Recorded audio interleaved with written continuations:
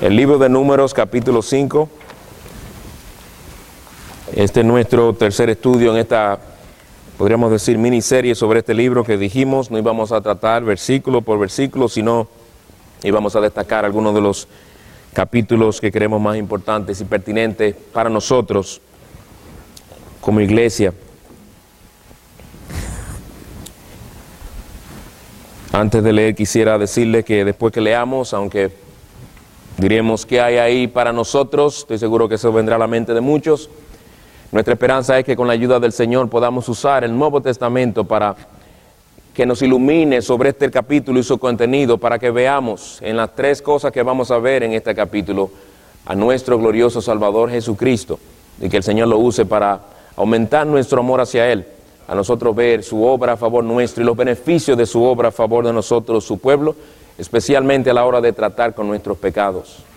Mi esperanza es también que el Señor use su palabra para que nos lleve a nosotros, al igual que los dos discípulos en camino de Maús, a que nuestros corazones ardan dentro de nosotros al verle a Él, al Él tomar las escrituras y desde Moisés pasar por los profetas, enseñarnos todo lo que dicen ellas concerniente a Él mismo. Pero antes de tener la lectura, vamos a orar, hermanos. Oh Dios de los cielos, queremos encomendarnos a ti para que tú nos ayudes en esta tarea tan solemne de proclamar tu palabra, especialmente de presentar a nuestro glorioso Salvador Jesucristo y viéndolo a Él prefigurado en el Antiguo Testamento. Oh Señor, úsalo para alimentar nuestras almas de Él. Pedimos tu bendición a través de Él y en su nombre. Amén. Vamos a leer el capítulo completo y antes de leerlo quisiera eh, decirles que lo vamos a estar viendo en la misma división que de hecho aparece en la versión de las Américas. Del 1 al 4 será la primera sección que formará nuestro primer punto. El segundo punto irá de los versículos 5 al 10, que es la segunda sección de este capítulo, y luego la sección que es más extensa, que va del 11 al final del capítulo. Leamos. Estas son leyes dadas específicamente al pueblo de Israel para cómo tratar con tres cosas que tenían que ver con el pecado. Versículo 1. Y habló el Señor a Moisés diciendo, manda a los hijos de Israel que echen del campamento a todo leproso, a todo el que padece de flujo y a todo el que es inmundo por causa de un muerto Echaréis tanto a hombres como a mujeres, los echaréis fuera del campamento para que no contaminen su campamento donde yo habito en medio de ellos. Y así lo hicieron los hijos de Israel y los echaron fuera del campamento, tal como el Señor había dicho a Moisés. Así lo hicieron los hijos de Israel. Entonces el Señor habló a Moisés diciendo, habla a los hijos de Israel, el hombre o la mujer que comete que cometa cualquiera de los pecados de la humanidad, actuando pérfidamente contra el Señor, esa persona es culpable.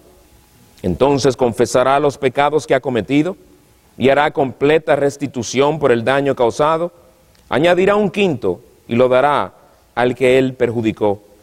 Pero si la persona no tiene pariente a quien se le haga la restitución por el daño, la restitución hecha por el daño debe ir al Señor, para el sacerdote además del carnero de expiación con el cual se hace expiación por él. También toda ofrenda correspondiente a todas las cosas consagradas de los hijos de Israel que ofrecen al sacerdote serán suyas. Las cosas consagradas de toda persona serán del sacerdote. Lo que una persona dé al sacerdote será de él. El Señor habló además a Moisés diciendo, habla a los hijos de Israel y diles, si la mujer de alguno se desvía y le es infiel, teniendo alguno relaciones carnales con ella sin que su marido se dé cuenta, ni, ni sea descubierta, aunque ella se haya contaminado y no haya testigo contra ella, ni haya sido sorprendida en el acto mismo, y un espíritu de celo viene sobre él, es decir, sobre el esposo, y tiene celos de su mujer, habiéndose ella contaminado, o si viene un espíritu de celos sobre él y tiene celos de su mujer, no habiéndose ella contaminado, el hombre llevará a su mujer al sacerdote y llevará como ofrenda por ella un décimo de una efa de harina de cebada no derramará aceite sobre la ofrenda, ni pondrá sobre ella incienso, porque es una ofrenda de cereal, de celos, una ofrenda memorial de cereal, un, un recordatorio de iniquidad.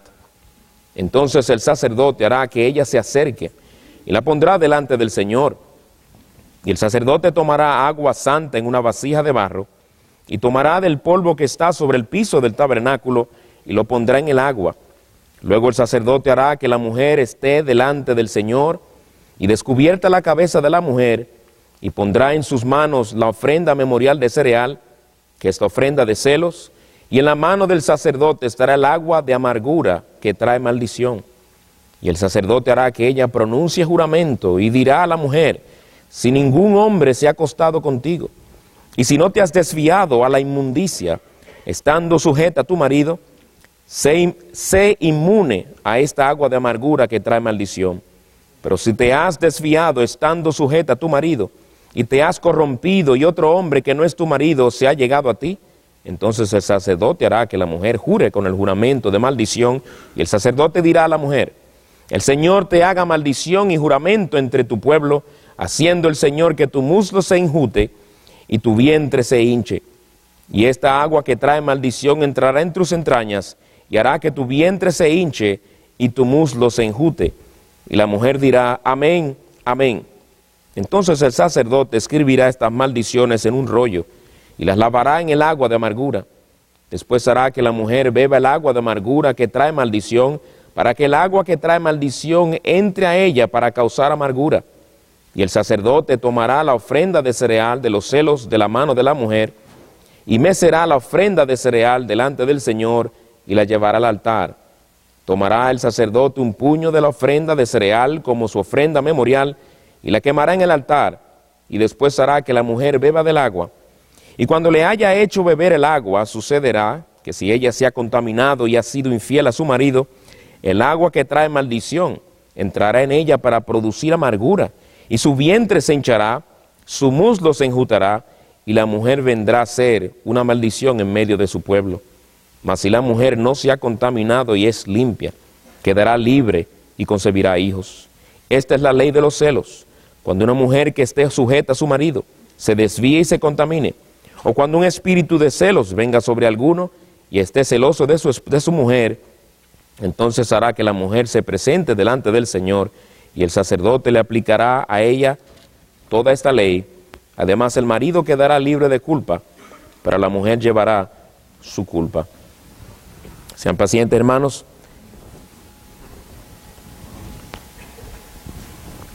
En base a lo que hasta ahora hemos visto, ya saben hermanos, que para este entonces ya el campamento del Señor, el campamento del pueblo de Israel se había organizado tal y como Dios lo había ordenado. Y vimos y estudiamos la importancia de ello y aprendimos algunas de las lecciones que se aplican a nosotros. El tabernáculo se encontraba en medio de ellos también como el Señor lo había ordenado. Las tribus alrededor del tabernáculo en el orden específico según los puntos cardinales con el lugar de más honor, el lugar del este que daba hacia la salida del sol y la entrada del tabernáculo. Ya vimos cuáles fueron las tribus colocadas allí, no siguiendo el orden de primogenitura, etcétera, sino el orden de honor que el Señor quiso dar a las tribus específicas, teniendo la tribu de los levitas más cerca del tabernáculo, porque eran ellos los que servían allí. Ya todo estaba listo para que emprendieran ese peregrinaje que como vimos, se esperaba que durara unas cuantas semanas solamente. Todo estaba listo. Ahora la pregunta es, ¿cómo iban ellos a poder vivir con un Dios tan santo en medio de ellos? Dios estaba en medio de ellos. Dios es un Dios de infinita pureza.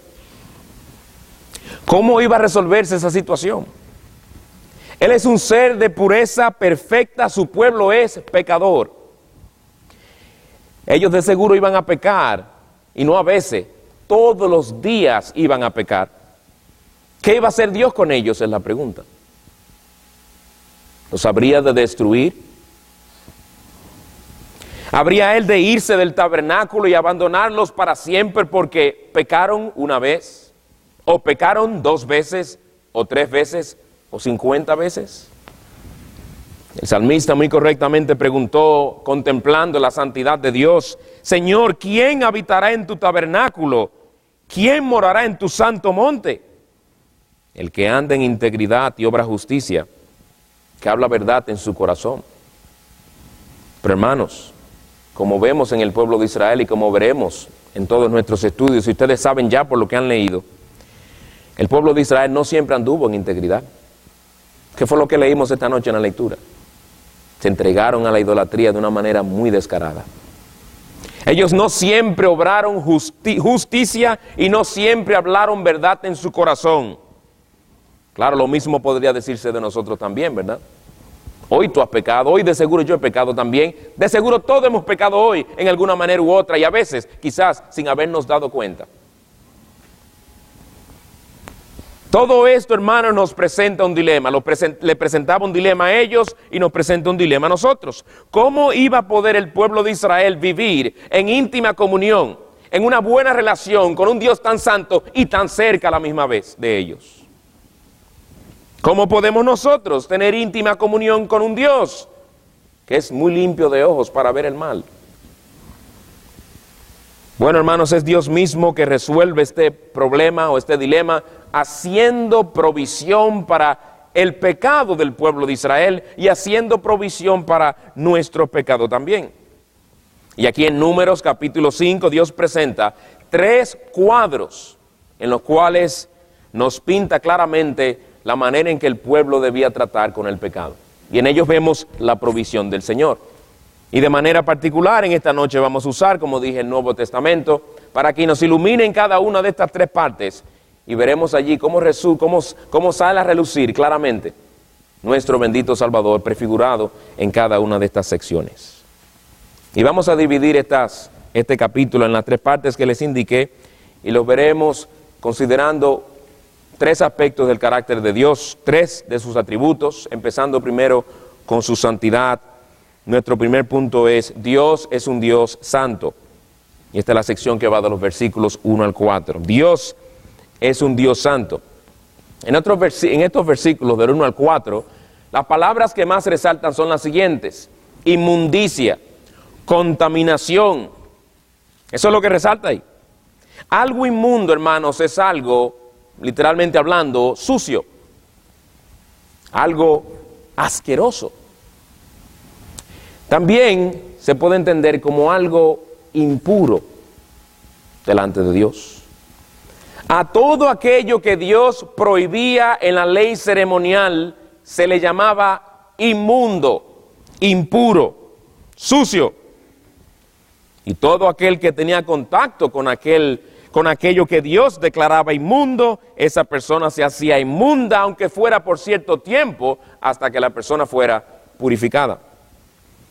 Bueno, Dios no toleraba nada inmundo en su campamento. Aquel campamento había venido a ser uno santo por la presencia especial de Dios en el mismo centro del campamento. Miren lo que dice el versículo 2 de, de Números 5. Manda a los hijos de Israel a que echen del campamento a todo leproso, a todo el que padece de flujo y a todo el que es inmundo por causa de un muerto. Lo primero que se menciona es una enfermedad de la piel, la, lepra, una enfermedad horrenda, como sabemos, lo que hayan leído sobre ello, hayan oído algo, era una enfermedad sumamente horrible. En segundo lugar, está todo aquel que padece de flujo o que padece de sangrado. Y en tercer lugar, aquel que haya tenido contacto con un cuerpo muerto. eran cosas que Dios en su sabiduría para enseñarles algo al pueblo de Israel por medio de estos símbolos. quería que ellos se abstuvieran de estas cosas. Eran cosas que Dios no quería en el campamento, eran cosas que Dios manda que se sacaran del campamento. Claro está, hermanos, a nosotros estas cosas, especialmente en nuestro tiempo, nos suenan injustas quizás, o nos suenan un poco eh, irrazonables. Porque uno quizás se pregunta, ¿es acaso justo que sacaran del campamento a un leproso? ¿Qué culpa tiene él de que tuviera lepra? es una enfermedad. Tenía que sacarse a alguien por tan solo tener un flujo. ¿Qué control tenía esa persona de ese flujo?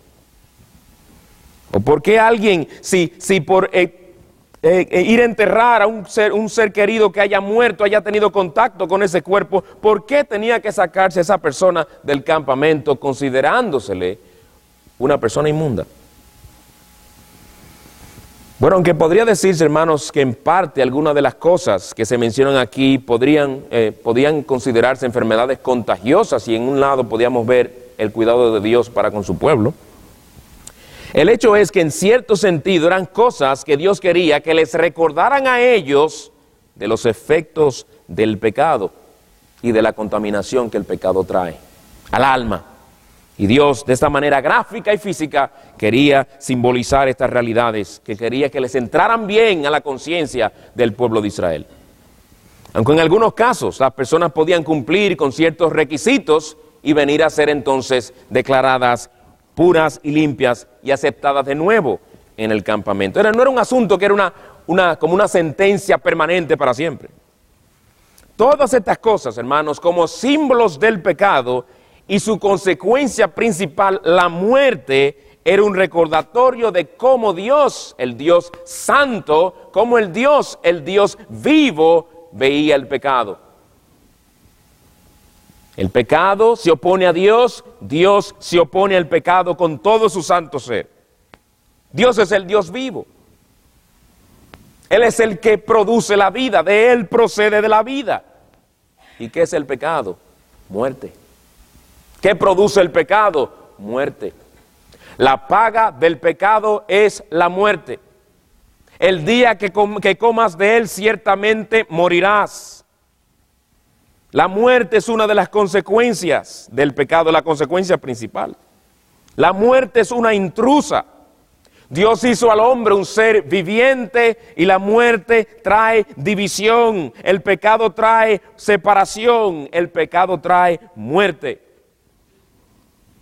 Por tanto, Dios quería que se echara fuera de su presencia, fuera del campamento, todo aquello que representara de una manera u otra los efectos del pecado, especialmente su efecto principal, la muerte, la contaminación. Esa era una solución que Dios dio. Que el que portara aquello que pudiera traerle muerte a otros, o que haya estado contacto o que haya estado en contacto con la muerte, que fuera echado fuera hasta que tal persona fuera purificada. Versículo 3. Echaréis tanto a hombres como a mujeres, no había discriminación aquí, les echaréis fuera del campamento para que no contaminen su campamento, donde yo, ese era el énfasis, donde yo habito en medio de ellos. Como vimos la vez pasada, hermanos, Dios en todo momento quiere establecer algo bien claro, que Él es un Dios santo y que ellos debían ser cuidadosos cómo trataban con Dios. Dios no quería que ellos fueran a acostumbrarse al hecho de que Él estaba en medio de ellos acostumbrarse al punto tal de trivializar esa realidad.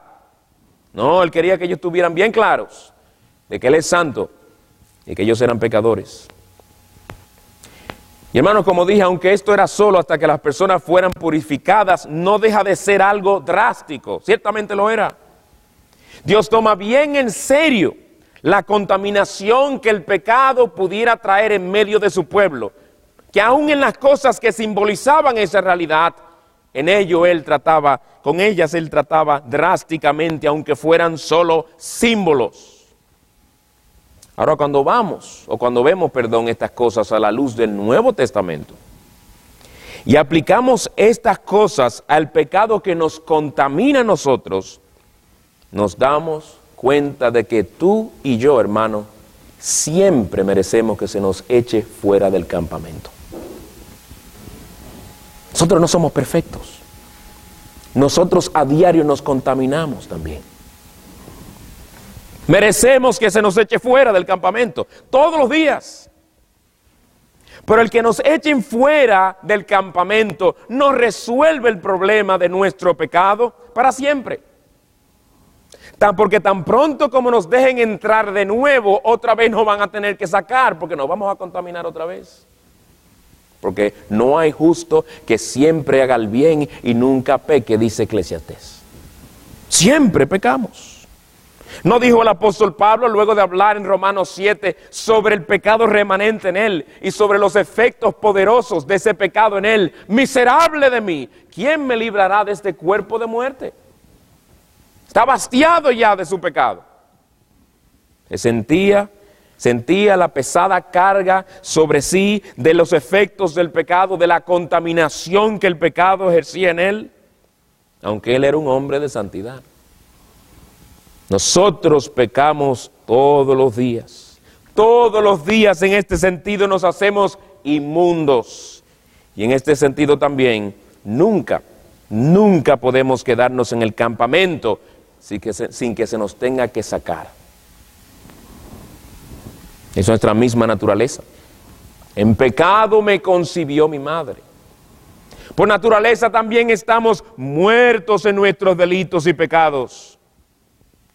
Entonces la pregunta es, aunque hemos sido rescatados y hemos recibido vida en Cristo, hemos sido perdonados, la pregunta es, ¿cómo podemos nosotros, pecadores aún, aunque redimidos, cómo podemos nosotros tener comunión con un Dios que es tan santo, siendo que nosotros nos contaminamos tanto? Siendo que nosotros merecemos también que se nos saque fuera del campamento. La solución del problema está no en una cosa, no en un ritual, sino en una persona, el Señor Jesucristo. Llamarás su nombre Jesús, porque Él salvará a su pueblo de sus pecados. Hermanos, es interesante que el Señor Jesucristo en su ministerio en este mundo, por medio de sus obras, eh, por medio de sus obras milagrosas, que en muchos casos eran obras simbólicas que enseñaban algo sobre Él y su obra, es interesante que en estas cosas Él trató con cada una de las cosas que acabamos de ver en los versículos 1 al 4. Abran sus Biblias rápidamente en Lucas 5. Y de hecho, los otros pasajes, permítanme leerlos yo, hermanos, porque, porque por el material que tengo, si no soy cuidadoso, el tiempo puede que se nos pase. Pero este quiero que lo vean, los otros los voy a leer yo, al igual que los demás textos que voy a citar. Siéntanse libres en buscarlo, no lo estoy impidiendo, pero quizá no le dé tiempo al llegar. Pero en este les voy a pedir que vayan a Lucas capítulo 5 y vemos aquí cómo el Señor Jesucristo trata con un leproso. ¿Y a quienes dicen el, en, número 5 que se han echado fuera? A los leprosos.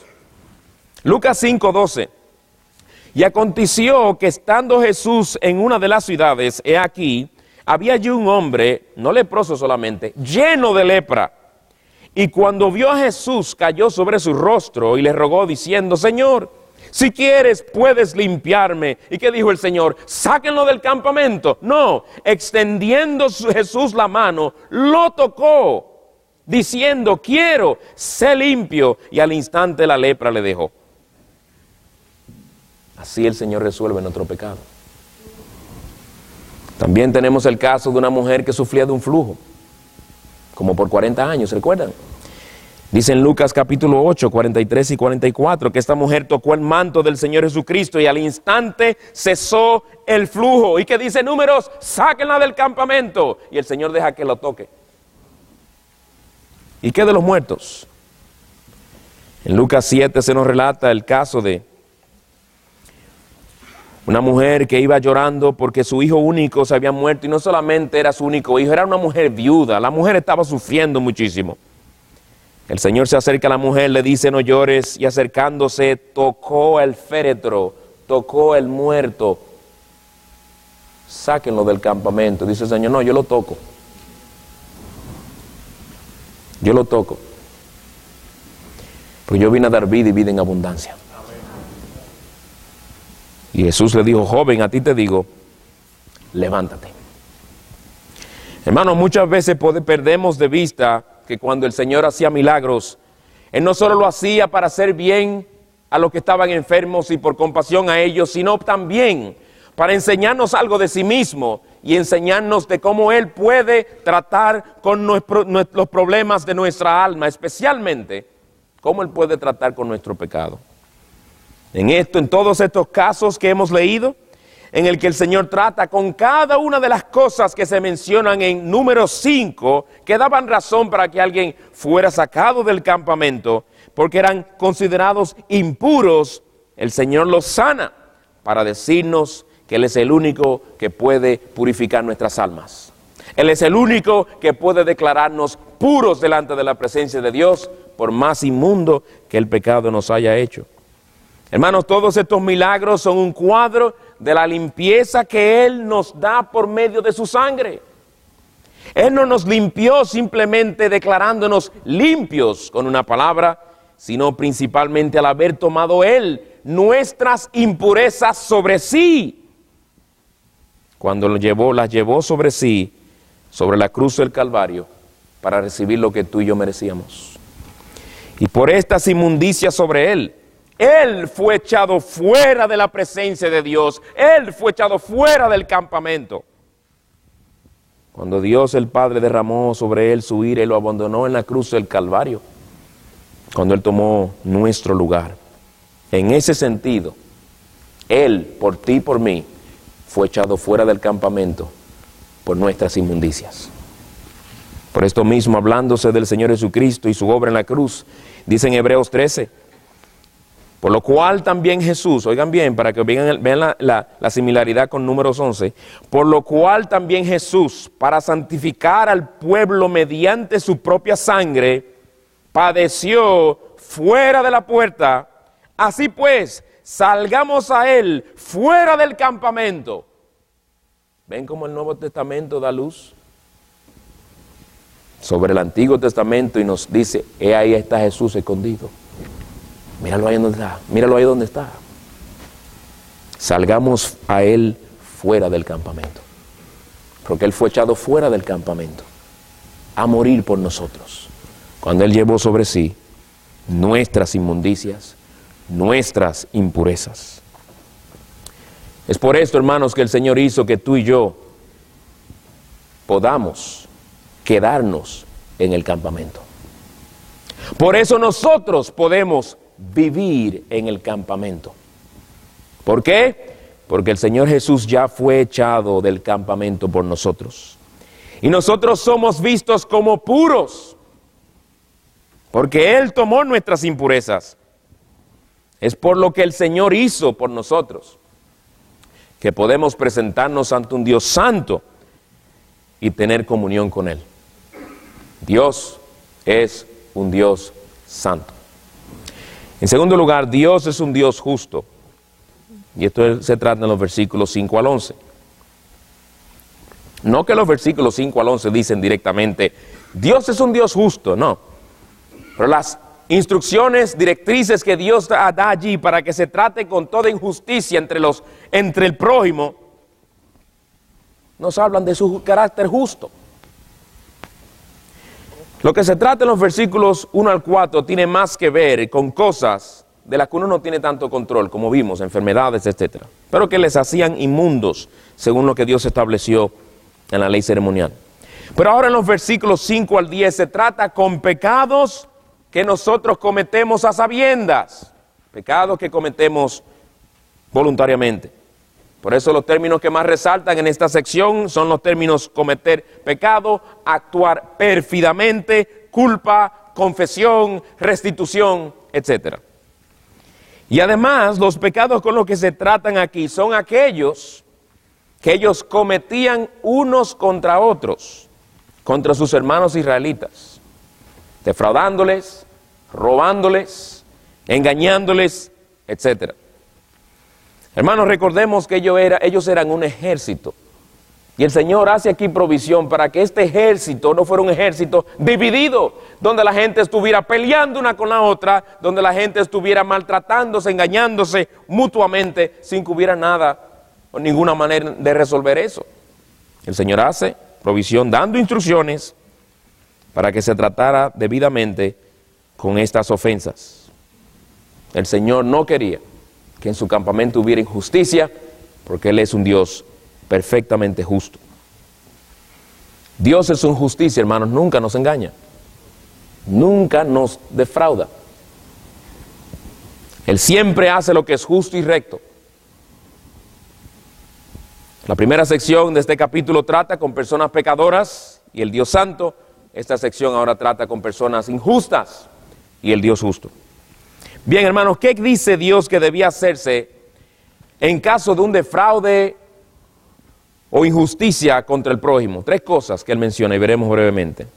Confesión primero, versículo 7. Entonces confesará los pecados que ha cometido. La persona tenía que confesarle su pecado a la persona que había injuriado y también al Señor.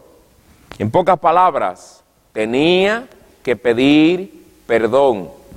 Qué fácil suena. Tenía que pedir perdón.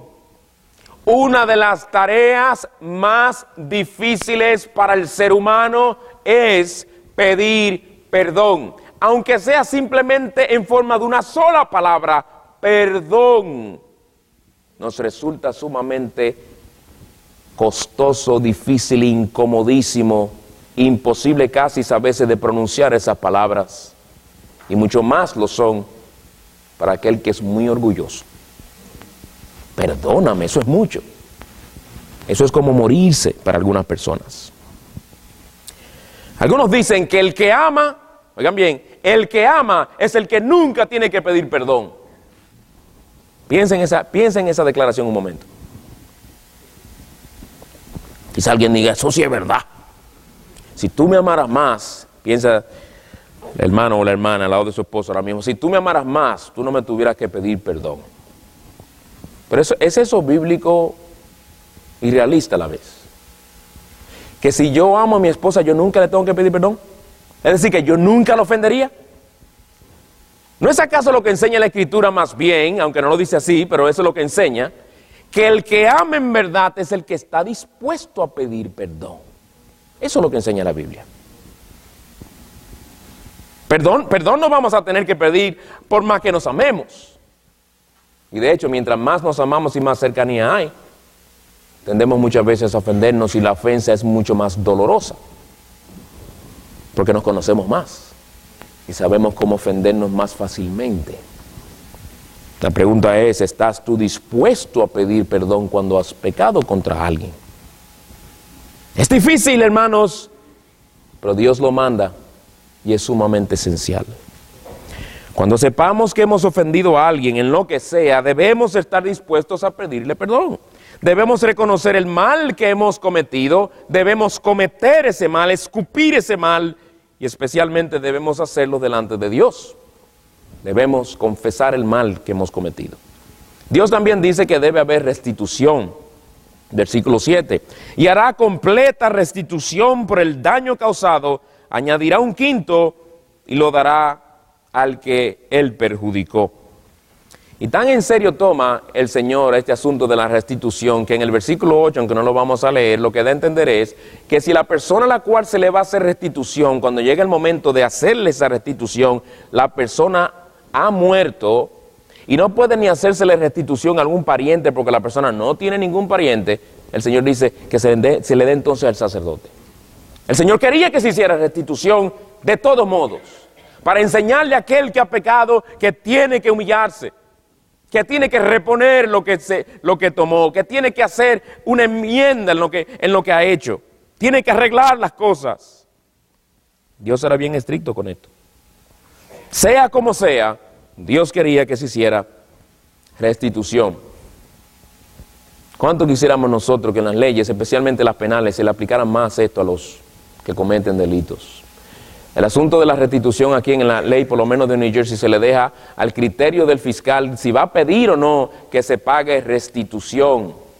Si hubo un robo de un vehículo y ese vehículo, eh, tuvo, eh, el que lo estuvo manejando, el que se lo robó, lo chocó, no siempre piden restitución. A veces quizás piensan, ah, esa persona no tiene ni dinero para pagar. La persona la mete en una celda, hace un arreglito, sale en tres meses, tranquilón. Ah, mira el carro que yo traía el otro día y nada, como si fuera nada. Como si fuera nada. Nosotros, hermanos, cuando sepamos que hayamos injuriado a alguien, como hemos perjudicado a alguien en algo, además de pedir perdón, tenemos que hacer lo posible por hacer obras dignas de arrepentimiento. Es lo justo. Obras dignas de arrepentimiento y hacer cierta clase de restitución. No estoy estableciendo un sistema aquí de restitución que si tú a la hermana lo ofende con esto, tiene que darle un, un gift card de 50 dólares. Yo no estoy diciendo eso. No, no, no, no. Pero oigan bien lo que estoy diciendo. Déjame ilustrar eso de esta manera. Si por ejemplo tú sabes y reconoces que has estado difamando al hermano tal, hablando mal de él o hablando mal de ella, y tú has sido hallado en falta o has reconocido tu falta y va y le confiesas al hermano, hermano, perdóname porque yo he hablado mal de ti necesariamente. Una manera de, de restituir para con esa persona sería vindicar la reputación de esa persona ante aquellos con los cuales tú estuviste hablando indebidamente de él. Fulano, yo, yo pequé contra el Señor, pequé contra mi hermano, yo le pedí perdón. Eso que yo te dije los otros días, yo hablé sin saberlo. Y me he humillado delante de él y he reconocido. Y de hecho, hasta me enteré que lo que yo dije fue una, fue una difamación porque yo ni sabía y al decirlo di la impresión de que era así y no era así. Es una manera de restituir o no. ¿Verdad que sí? ¿Y qué de decirle la verdad a aquel a quien le mentimos? Eso es una manera de restituir y de, enmendar las cosas. O reponiéndole a alguien lo que le hayamos dañado. Etcétera. Es lo justo ante los ojos de Dios. Debemos confesar y debemos hacer restitución. Sin, hermano, sin embargo, hermanos, para Dios eso no era suficiente para con el pueblo de Israel. Dice, el Señor dice, no, eso no es suficiente. Porque en el versículo 8 termina diciendo, además del carnero de expiación, con el cual se hace expiación por él. Confesión, restitución, expiación también. Hermanos, recuerden que la palabra de Dios dice, sin derramamiento de sangre, no hay perdón. Nosotros podremos confesar todo lo que querramos, podremos hacer restitución hasta cuadruplicando lo que hemos, en lo que hemos defalcado a la persona. Pero ninguna de estas cosas podrá en verdad resolver nuestra culpa delante de Dios. Por eso aquí se habla de un animal inocente que tenía que morir. Un animal que tenía que tomar el lugar del culpable. el culpable de haber pecado contra su prójimo.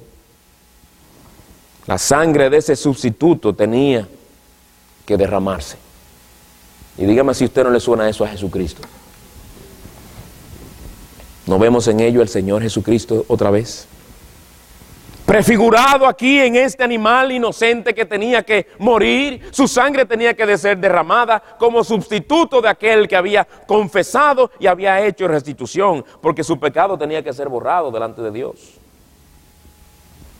Todos nosotros somos injustos delante de la presencia de Dios. No hay justo ni aún uno, dicen Romanos 3, ¿verdad que sí? Todos hemos hecho lo malo ante sus ojos. Todos hemos pecado contra Él al pecar contra nuestro prójimo.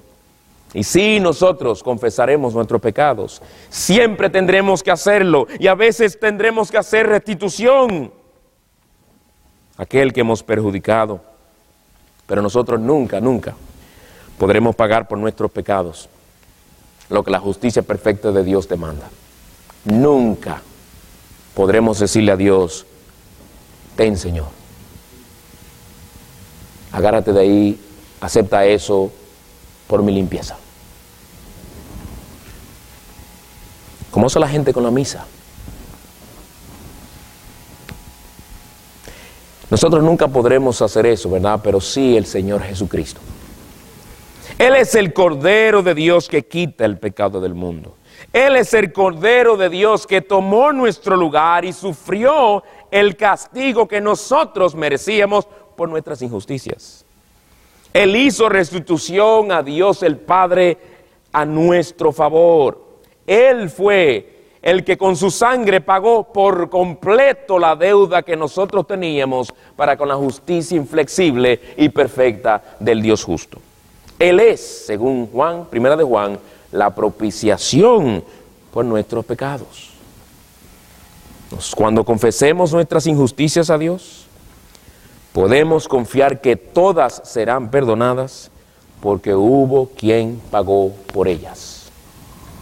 Por eso es que nosotros, que hemos sido declarados justos delante de Dios, en base a la justicia perfecta de Cristo, podemos vivir en íntima comunión con el Dios justo que está en el tabernáculo, en el medio del campamento.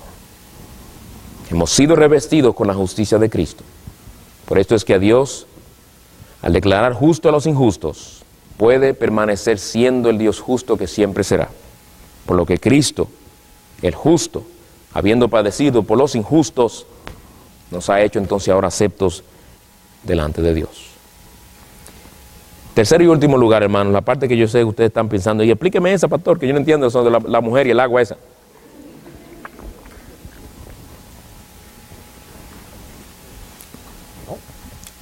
Por último, en tercer lugar, Dios es un Dios fiel. Versículos 12 al 31.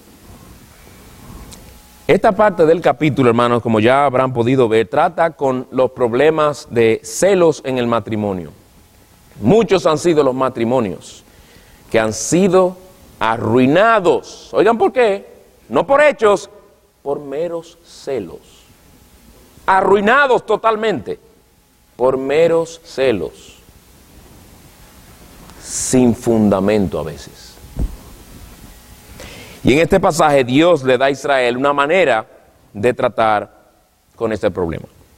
Matthew Poole, el comentarista, hablando sobre esta ley, dice, y he cambiado algunas palabritas para que se entienda mejor, cito, esta ley, fue dada en, esta ley fue dada en parte para disuadir a las esposas, y podemos incluir esposos, de actos de adulterio, y en parte para, también para proteger a las esposas de la ira de sus esposos, los cuales en base a una mera sospecha podían tratar de matar a sus esposas, o por lo menos divorciarse de ellas. Fin de la cita. En esta parte de nuestro texto se nos habla de una mujer cuyo esposo sospecha que ella le está siendo infiel. Y entiendas, hermano, que aunque se mencione la mujer aquí, no significa que solamente se trataba con la mujer cuando había asuntos de adulterio. No, no, no, no. Si, fuera por eso, vamos entonces a decir, ¿por qué el Señor Jesucristo solamente menciona al hombre en Mateo 5 en el Sermón del Monte, cuando dice todo, mujer, todo hombre que mire una mujer para codiciarla, entonces la mujer no adultera? No, no, no. Es lo que se llama jurisprudencia, ¿verdad? Es lo que aún se usa en nuestra ley en Estados Unidos. Cuando se habla de la definición, por ejemplo, de un escalamiento de un individuo que entra ilícitamente o sin permiso a algún establecimiento, carro, casa, con el fin de cometer un delito dentro del mismo, eso significa escalamiento, lo que le llaman burglary.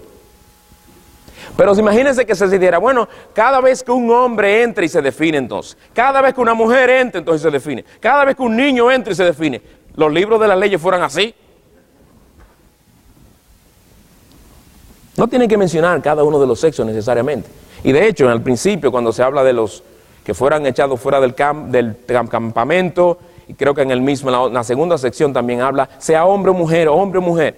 Aquí se habla de una mujer, en este caso, y concentrémonos en eso según lo que dice aquí, y como quiera eso se aplicaría a todos.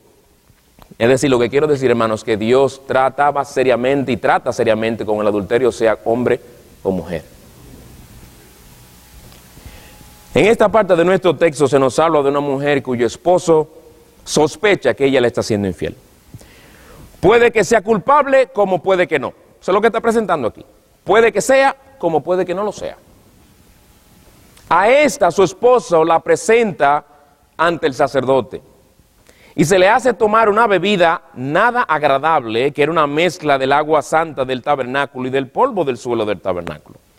Y ella a la vez en ello se sometía a una maldición, la cual el esposo esperaba ver si sobre ella se iba a cumplir como indicación de que realmente había cometido adulterio y Dios le estaba castigando, o si iba a ser, por lo contrario, vindicada a no pasarle nada.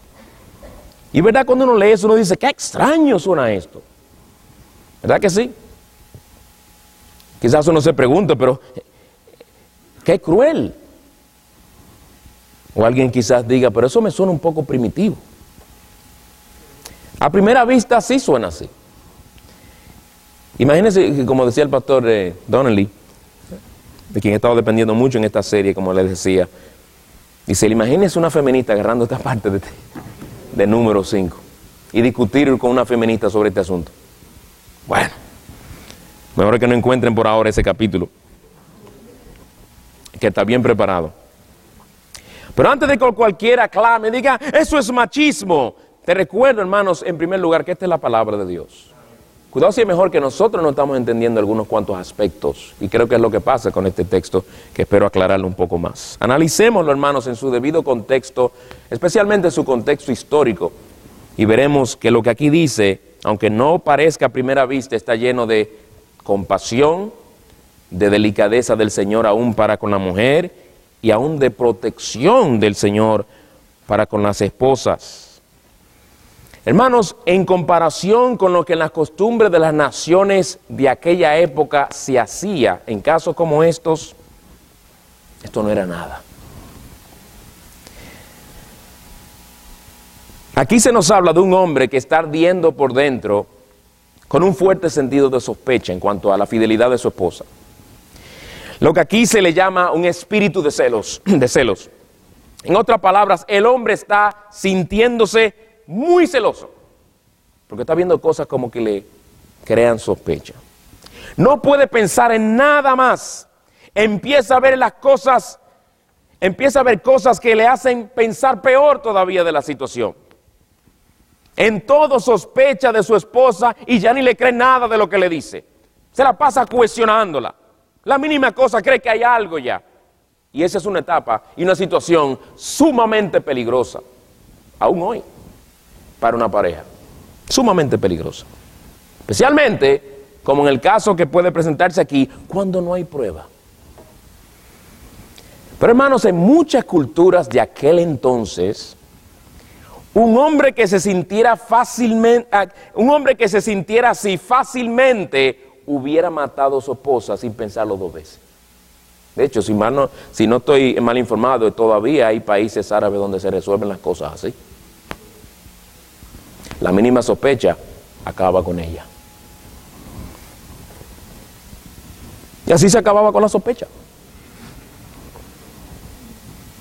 Pero por lo que Dios manda que se haga en este capítulo de números, vemos que al hombre en ningún momento se le da derecho a hacerle daño a su esposa. ¿Dónde usted lo ve ahí? Hárela por el pelo, arrástrela al sacerdote, Nada de eso, ¿verdad que no? No se le permite ponerle un dedo. Aquí no se le habla del hombre que le ponga un dedo a su mujer. Él tenía que presentarla al sacerdote. Y aunque el beber del agua amarga a nosotros nos resulta extraño, en las culturas de la época era muchísimo peor. Uno de los métodos que se conocen era, por ejemplo, que a la mujer que el esposo la traía ante, algún, ante los líderes con sospecha de adulterio, uno de los métodos era que se le hacía a la mujer meter la mano en agua hirviendo o aceite hirviendo. Y si se quemaba, quedaba libre de sospecha.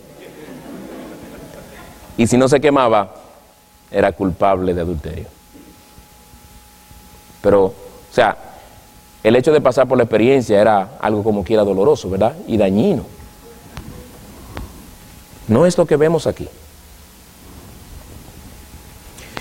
En algunos otros casos eh, se la ponía a agarrar también un hierro ardiente, un metal ardiente.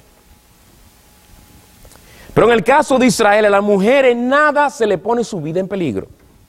Y no tan solo eso, hermano, sino que el procedimiento en sí era completamente neutral. No se presupone culpabilidad. No se presupone eso. Dios aquí protege a las mujeres de alegaciones sin fundamento. Él manda que la traigan delante del sacerdote y se haga todo este proceso que toma 20 versículos del capítulo 5 para dar los detalles. Cuán cuidadoso es Dios con estas cosas. Cuánto quiere Dios que se proteja la unidad del matrimonio y no se anden con sospechas sin fundamento que traen división y deterioran el matrimonio. Algo serio. Dios aquí hace provisión para que ninguna mujer inocente fuera maltratada.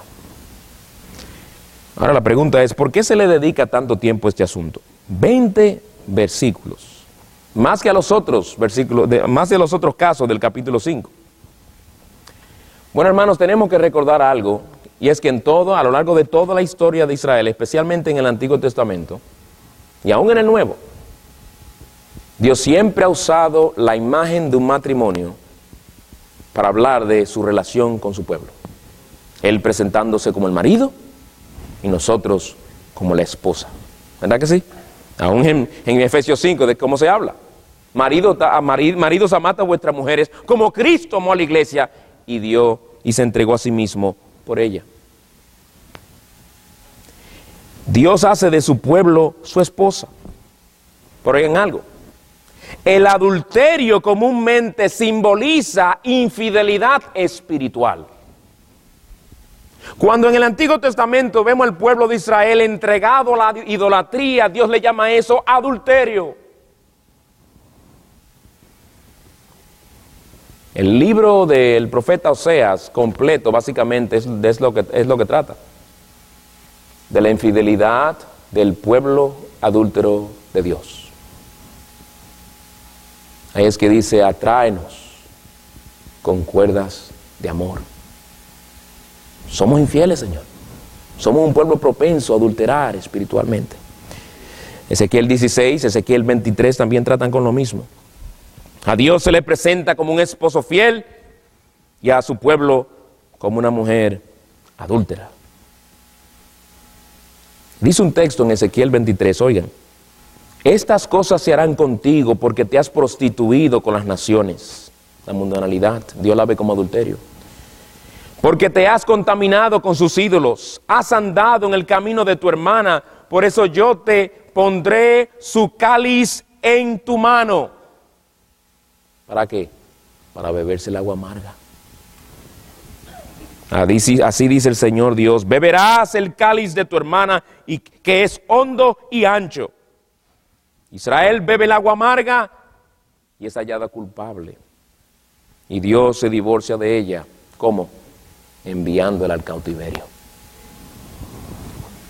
Hermanos, tú y yo somos una esposa infiel. Como iglesia de Cristo somos una esposa infiel. Él es fiel con nosotros, pero nosotros le hemos sido infieles múltiples veces. Nosotros, al igual que Israel, le hemos dado nuestro amor a otros amantes. Hemos cometido adulterio espiritual, hemos traicionado a nuestro marido, por eso dice en Santiago 4:4, oh almas adúlteras, ¿no sabéis que la amistad con el mundo es enemistad contra Dios? ¿Por qué nos llama almas adúlteras? En el caso de Dios no es, no es que Él sospeche de que estamos siendo infieles y como que le estamos dando cierta señal. Él sabe que somos infieles. Él lo conoce todo. Una y otra vez hemos sido infieles. Y como la esposa infiel de Dios, merecemos que se nos someta a juicio. Merecemos que se nos haga beber toda el agua amarga y merecemos el castigo de Dios por nuestra traición. Sin embargo, hermanos, el Evangelio nos dice que nuestro fiel Dios, por fidelidad a su pacto, nunca se va a divorciar de nosotros. Medita por un momento en esa realidad, hermanos. Dios ha dicho, nunca os abandonaré. Nunca se va a divorciar de ti. Él nos volverá a recibir. Nos volverá a recibir en su hogar, nos volverá a recibir en sus brazos, nos volverá a recibir en su corazón. Nunca nos abandonará y nos va a restaurar también. ¿Y cómo puede ser esto? ¿No dice la escritura, aunque fuéramos infieles, Él permanece fiel? ¿No es acaso Dios un Dios fiel? ¿Cómo puede Él tratar con fidelidad y aún seguir amando a un pueblo infiel? ¿No es eso negarse a sí mismo? ¿No es Él un Dios santo como ya vimos en los primeros versículos? ¿No es Él un Dios justo como vimos en los demás versículos? ¿Cómo puede Él entonces seguir tratando y amando a una esposa tan infiel como nosotros. Él puede, hermanos, Él puede hacerlo, porque hubo uno que tomó la copa de amargura y se la bebió completa en nuestro lugar. Hubo uno. Y sabemos quién es, ¿verdad? El Señor Jesucristo. Él se bebió la copa del juicio en el lugar de su esposa adúltera, tú y yo. Él al establecer la cena, la santa cena, dijo, esta copa o su contenido es el nuevo pacto en mi sangre. Mi sangre. Eso habla de su muerte. Mi sangre que es derramada por vosotros. El vino en esa copa representaba su sangre. Representa y hablaba de la muerte bajo maldición en la cruz. Allí donde Él tomó aquella copa, no de vino, sino la copa llena hasta el tope de la amarga ira de Dios. No de polvo del tabernáculo, no. La amarga ira de Dios. ¿Se acuerdan cómo Él en el Getsemaní oró temblando, diciendo, Padre, si es tu voluntad, quita de mí esta copa. Esta fue una oración llena de horror, gran temblor. El Señor tembló ante la ardiente ira de Dios bajo la cual Él iba a someterse sobre la cruz, pero Él también manifestó su sumisión en esa oración y le dijo al Padre que fuera su voluntad y como sabemos se bebió esa copa hasta su última gota. Se bebió la maldición del esposo infiel. Esta copa amarga de muerte y maldición se ha convertido para nosotros en una copa dulce y de bendición. Cuando hacemos memoria de Él durante la celebración de la cena, para nosotros es una copa con un contenido muy diferente. Es una copa llena de perdón. Es una copa llena de vida. Es una copa llena de gozo. El Dios Santo hace provisión para nuestros pecados. El Dios justo hace provisión para nuestras injusticias. El Dios fiel hace provisión para nuestra infidelidad. Pues hermanos, este capítulo del libro de números, en este Dios nos recuerda de cómo Él ha tratado con nuestros pecados por medio de su amado Hijo. Y estas cosas nos deben llevar a nosotros a esperar con gozo aquel día en que celebraremos las bodas del Cordero en los cielos. Espero que estas cosas, hermanos, al ver lo que el Señor ha hecho por nosotros, nos lleve a gloriarnos más en Él y a gozarnos en Él a dar gracias a Dios por nuestro Señor Jesucristo, como el apóstol Pablo quien dijo, ya citamos, miserable de mí, ¿quién me librará de este cuerpo de muerte? Lo, primero, lo próximo que dice es, gracias a Dios por Jesucristo, Señor nuestro. Y nosotros también damos gracias por Él y te decimos a ti, amigo, tú tratas con un Dios santo, tus pecados son contra un Dios de infinita santidad. Tus injusticias son cometidas contra un Dios que es justo y tiene que castigar el pecado y no lo puede pasar por alto. Tu infidelidad es continua y sigue aumentando cada día.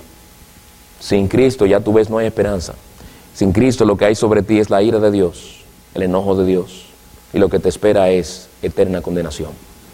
Pero como ya tú viste, nosotros podemos hablar del Señor Jesucristo como aquel, como aquel que tocó al leproso, como aquel que sanó, el que tenía el flujo, como aquel que sanó y levantó a los muertos, cosas que según números 11 eran dignas de que las personas fueran sacadas del campamento porque las hacían inmundas.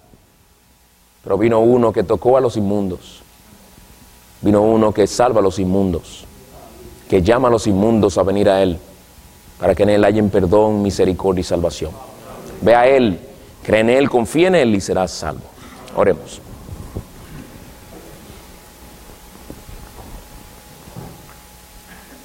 Señor, al igual que el apóstol Pablo, te decimos gracias por el Señor Jesucristo, Señor nuestro. ¿Qué fuera de nosotros sin Él? ¿Qué fuera de nosotros? ¿Cómo trataríamos con nuestros pecados y nuestra culpa? Oh Señor, te pedimos que estas cosas que hemos oído aumenten nuestro amor a Él. Que apreciemos más a nuestro Salvador, que nos gocemos y deleitemos en Él que nosotros podamos acercarnos con confianza al trono de la gracia para hallar el perdón de nuestros pecados para limpiarnos y sumergirnos en Él como cantábamos en esta noche, en esa fuente carmesí de continua gracia, perdón y misericordia.